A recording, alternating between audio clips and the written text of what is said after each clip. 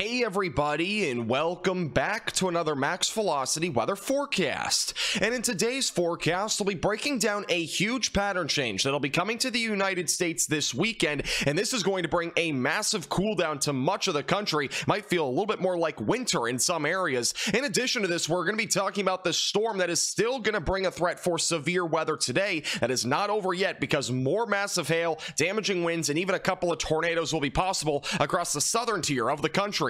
I'll be giving you the latest breakdown on everything that you need to know in this forecast, and let's begin first with what's happening right now across the United States today, and we will begin with this large storm that is still bringing relentless showers and thunderstorms across a large chunk of the southern tier of the United States. Notice right now, we actually have some very deep convection across areas in southern Mississippi and Louisiana. That is associated with some pretty significant thunderstorm activity. We actually had a tornado warning in central Louisiana a few hours ago, and there are still some showers and thunderstorms ongoing here that are continuing to push down to the south, bringing the risk for some isolated damaging winds through the early to mid afternoon hours. Eventually, the severe weather risk will start to dwindle across areas in the southeast, but we do still have a few hours left of some severe weather. So stay weather aware if you're down that direction until about 4 to 5 o'clock this afternoon. Now, back down in South Texas, it's a bit of a different story. This is an area that we are going to have some pretty significant severe weather tonight. We actually might go live for this, so make sure that you're subscribed to the channel. But the area that we're going to be watching for is actually in central central and southern Texas, where there will be some massive hailstorms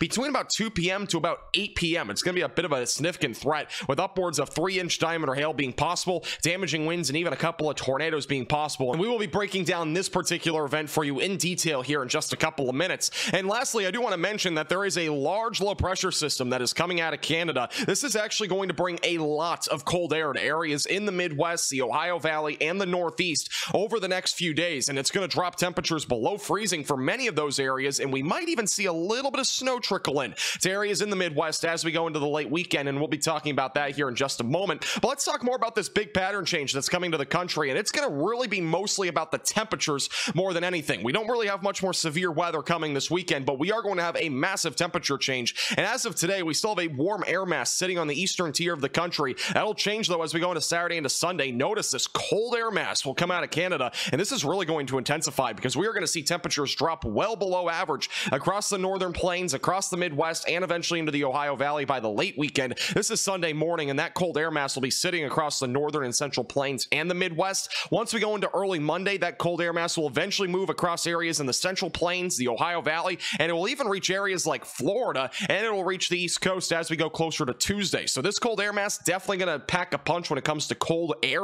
And then once we go into Wednesday into Thursday, that cold air mass is actually going to grow in Canada. And you might be thinking, thinking that's all going to be coming down into the United States, right? Unfortunately, probably not. Unless we get some sort of low pressure system that crashes down into like the Great Plains or something like that, which the European model actually does suggest as we go into late next weekend around March 25th, which is over 10 days from now. So it's really pointless to really look at this since it's probably going to change, but it is something we'll have to watch for. We might get another cold air mass. So just a friendly reminder, if you're back down in the southern plains, I would at least wait to plant any sensitive vegetation, at least until the very end of March, because we still do have at least one more shot at maybe some below freezing temperatures there. It's a relatively low chance, but it definitely is still a possibility. Now, in terms of the actual temperatures across the country, they are going to drop quite a bit, especially back over in the Midwest and the Ohio Valley. Notice this as we go into Saturday morning. Most areas above freezing, so good news there, but obviously that's going to change as we go into Sunday. Most areas in the Midwest will drop below freezing. We'll have some areas in the teens, maybe even some single digits in uh, northern Minnesota. And then once we go into Monday morning, that cold air mass continues to dive to the south, and we will have that freezing line dropping all the way down into Tennessee, even in some of the higher elevations of Arkansas, maybe even as far to the south as northern Oklahoma. And by Tuesday morning, that cold air mass will start to siphon down into areas like northern and central Georgia, and even down into northern and central Alabama. And what that means is that you definitely want to make sure that you're protecting your sensitive vegetation, because I know many of you down there may have already started to plant because obviously we're in March and you know we're getting close to spring, but you definitely want to make sure you take those proper precautions going into Tuesday morning. By Wednesday morning, that cold air will start to retreat back to the north. And then by Wednesday afternoon, temperatures are going to be right back into the 70s across much of the Great Plains. It's going to get really warm really quickly. And eventually that warm air will start to retreat back to the south as we go into Thursday with that cold air mass lingering back over in areas like Canada. And this is the wind chills, by the way, Monday morning. I just want to show you this for perspective here across like the Midwest, for example. Many areas will feel like the single digits and even in the teens. But notice back up here in Canada, many areas will feel as low as 30 degrees below zero.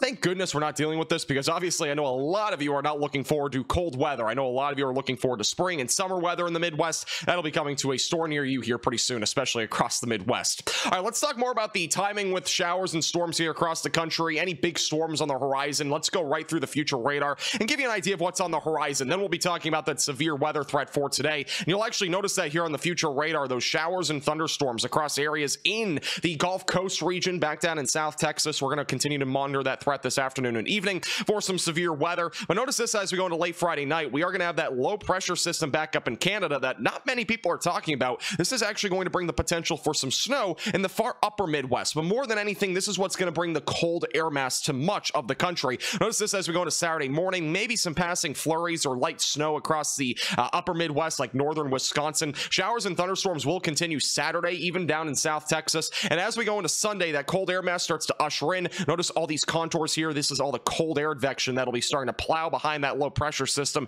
into areas like the Midwest by Sunday. Eventually by Monday, a little bit of snow perhaps across the Great Lakes region, but again, very light stuff overall. No significant snowfall accumulation is in the forecast. By the time we go into Tuesday and Wednesday, things really dry across much of the country. Thank goodness we're not dealing with any more severe weather events in the near future. Once we get closer to Wednesday and to Thursday, a little bit of snow across the Northeast, and eventually by Thursday into Friday, maybe a little bit of snow in the Midwest, but becomes again very uncertain. Now, as we get closer to Thursday and Friday of next week, things become very uncertain since we are talking about an event that's over seven days out from now, but we may see a large storm develop again in the southern plains. This one will be something to watch for. It shows a large nor'easter in the northeast. I highly doubt that's going to happen. But with that being said, this obviously could bring at least the potential for some severe weather in the southern plains by next Friday, but there is still a large amount of uncertainty with that. So make sure you're subscribed to the channel. We'll be keeping you posted with the latest as that begins to become more of a possibility. All right, let's talk more about that severe weather potential for today. There is actually an enhanced risk of severe weather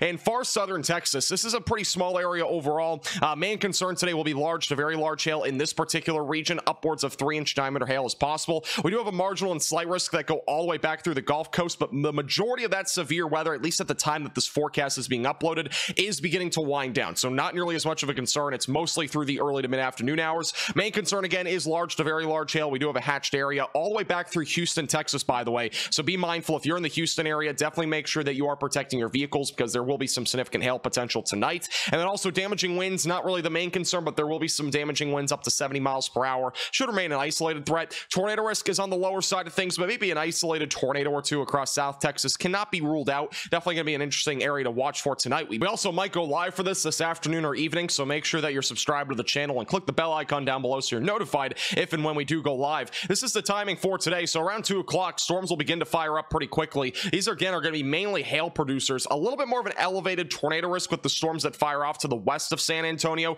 Those ones in particular have a slightly more elevated tornado risk, but some significant hail still in the picture there. Once we get closer to 4 to 5 o'clock, those storms continue pushing east. Houston be on alert around 6 o'clock. Some significant hail will be possible. By 6 to 7, storms moving into San Antonio with large to very large hail being a possibility. Eventually, by 8 to 9 o'clock, a lot of these storms are beginning to fizzle back over near areas in Houston and Beaumont. We will still be watching for some damaging wind potential and large hail near San Antonio all the way through about 10 to 11 o'clock tonight. And then eventually outflow driven storms likely after midnight. That should be mostly a damaging wind threat by then. Thank you guys so much for watching. Make sure to the like button down below and subscribe if you've not already.